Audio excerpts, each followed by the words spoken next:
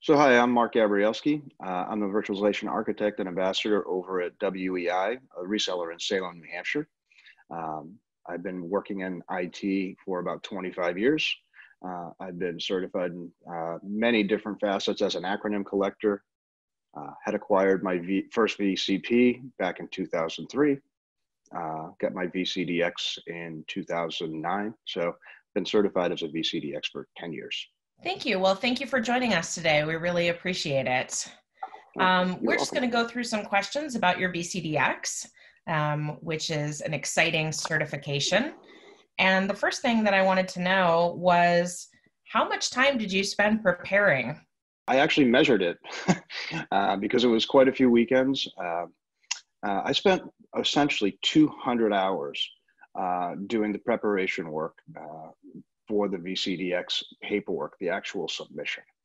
Um, now, that was based on a actual customer design um, that was uh, being delivered. So, basing it on an actual customer design, um, I spent probably 100 hours of that 200 hours making the submission uh, specific for the VCDX. Uh, the end result was my customer got a great design on top of it all. Um, but uh, I, I, did put a little extra effort in that I uh, just to make sure I hit all of the requirements that the VCDX uh, had outlined for me in its blueprint. Great. And then what happened afterwards? So after I received the VCDX, um, you know, uh, the expectation was, you know, great, another certification. Uh, in reality, what had happened was the company I was working for at the time uh, my direct manager uh, was very appreciative, uh, showed me a lot of support, uh, but leadership didn't seem to care, didn't want to uh, take advantage of that and use that with their existing clients. Um, and it made it very easy for me to find another job that was going to be challenging me, that was going to let me take it to the next level. Now what? Where do you go from here once you have a VCDX? Um, what's the next natural step in the progression? So after you get your VCDX, uh, you know, you should really try to take it to another level after all of the celebratory celebratory uh, fun is over. Um, get yourself into account executives uh, if you're working with a reseller. Uh, if you're working at a company or, um, or a partner, start working with the different business units. But encourage you know encourage them to take advantage uh, of that certification. Um, you know, it's VMware calls it out. And if you ever read any of the boot camps or any of the uh, the published works that are out there, uh, Pat Pat Gelsinger does uh, some of the forwards, and he uh, explicitly calls it the PhD for working with uh, virtual um, the virtualization stack, the SDDC that VMware now has. Uh, and there's more than one VCDX track, so. there are quite a few folks out there who have gone and become double VCDXs uh, and challenge themselves that way. Uh, and there's even one, only one individual who's done the four VCDX tracks. Uh, so um, there's, you know, if you want to continue measuring yourself uh, with certifications, that's great too. Uh, I recommend getting yourself out there and practicing and actually helping others. Um, you know, uh, whether that's a customer and you're helping them with their design, whether that's team members who are looking to go ahead and grow themselves personally and professionally uh, you'll see that a lot of the VCDX community, all those folks that are certified, constantly give back. Uh, they're, you know, nobody makes money helping others. Uh, it's just a sense of, uh, it's very rewarding to see others have that potential to grow. I had mentors who definitely took me from just being an engineer uh, to being a solutions architect and a, you know a true architect for my customers' benefits before you got your VCDX, um, what was your biggest challenge um, in preparing or in going through the process? My biggest pro- uh, when I was approaching the VCDX uh, was that the program was so new and there was no guidance available. There was one blueprint document, uh, very similar to the blueprint document uh, you all see today. Um, granted, nowadays it's much more formalized, but you have this one blueprint and that was all of the guidance that was available. So trying to infer what what was required of me was a was a huge challenge as i started that out. How do you approach this documentation? What are they really looking for? Um, and just taking your your best effort uh, to try to extrapolate from that that blueprint what was required. I think today uh, between all of the blueprints, all the published works that exist out there, uh, the, uh, the study groups, the, the VCDX workshops that are held around the country uh, in the US, they're held across, abroad, and more importantly, they're held online uh, at least once a quarter. All of these resources now exist to help folks prepare, which in, in hindsight would have been great if I had that. But you know, as you started out of the V the VCDX program, those things those resources just didn't exist. So the first book that uh, in the IT Architect series is uh, the foundation in the art of infrastructure design, um, and it's a practical guide for IT architects. A little bit of Socratic method um, that is part of that, uh, as we present a couple of full-blown uh, designs.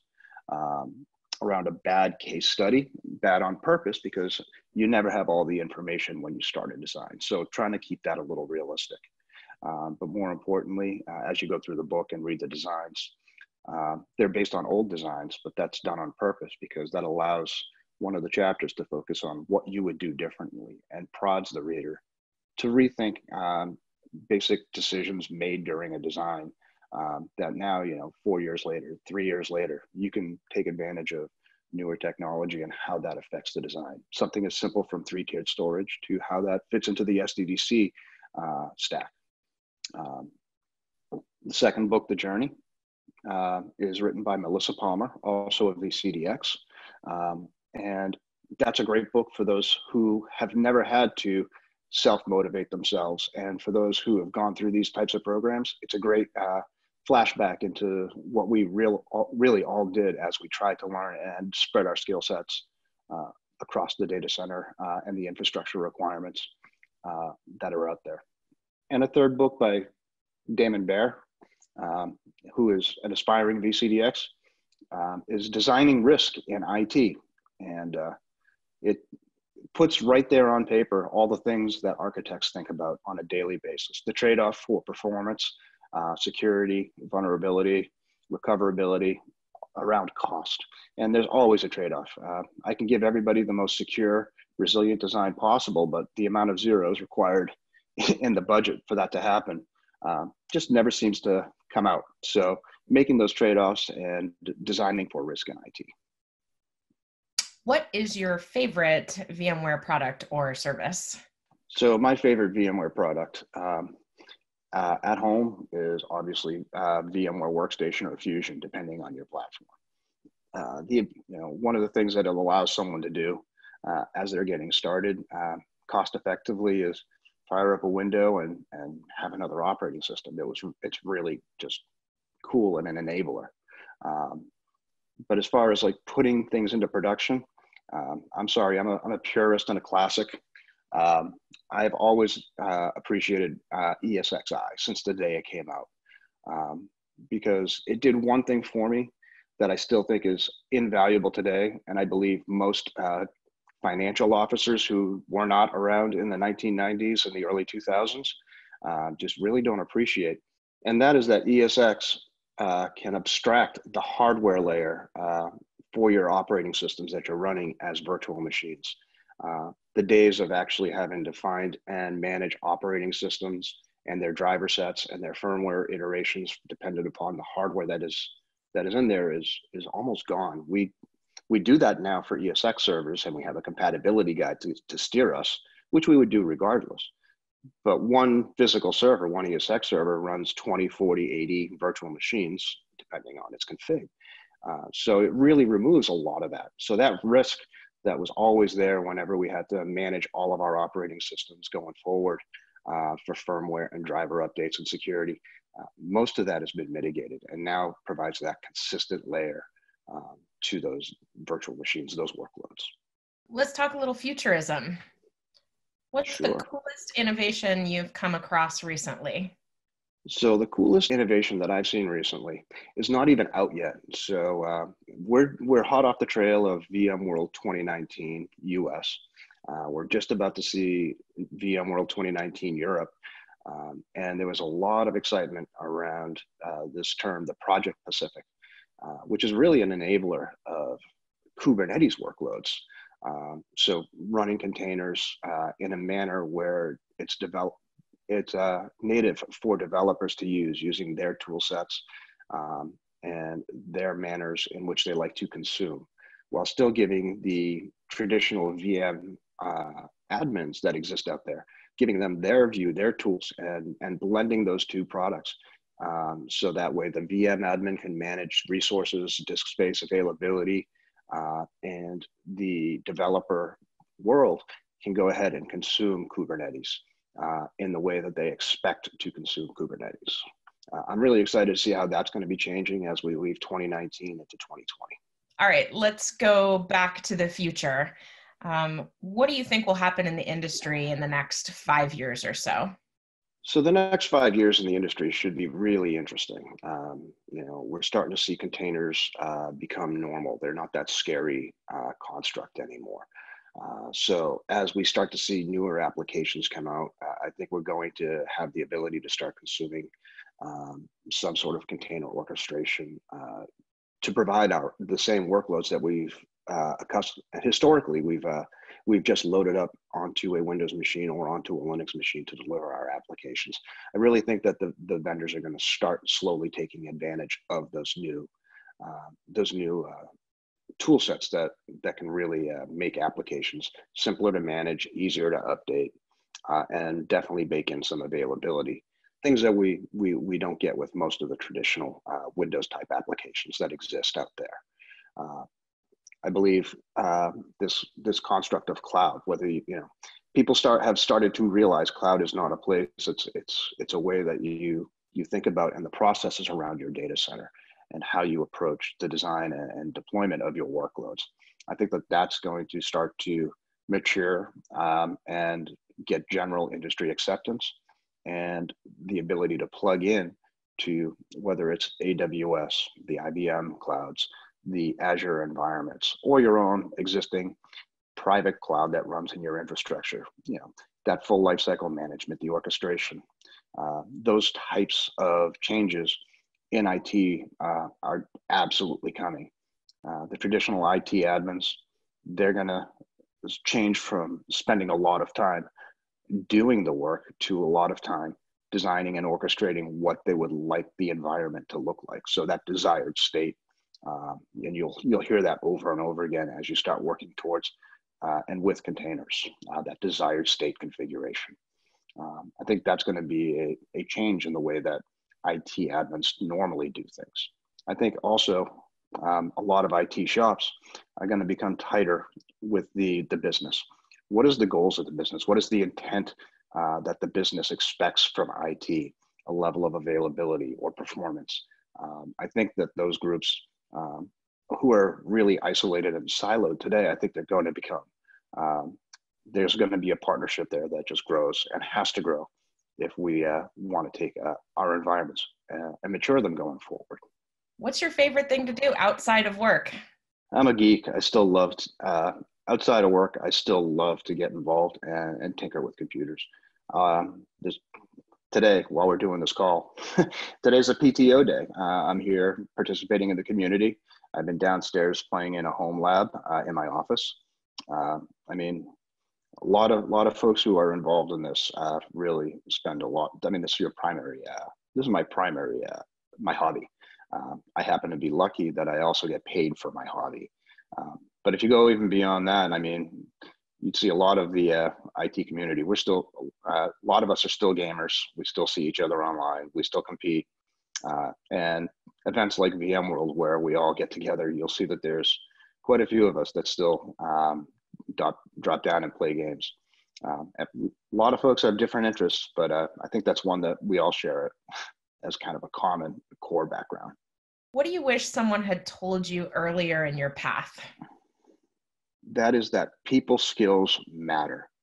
Um, I do remember in, you know, as I got started in this in the uh, early 90s and into the early 2000s, um, that I was an engineer who was focused on speeds and feeds and memorizing hardware specifications and what was going to perform better uh, from a from a technical perspective.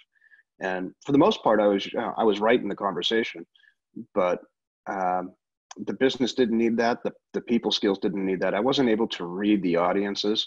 Um, and, you know, I was going to meetings armed with that technical, de- technical details uh, and, you know, not able to understand something as simple as a salesperson uh, asking how someone's family was and building that relationship. So if I had learned how to focus on the relationships um, first, I think that that could have made me a better engineer or a better architect in a very in a shorter time frame. Um, you can't get rid of those soft skills, and they're very hard to teach.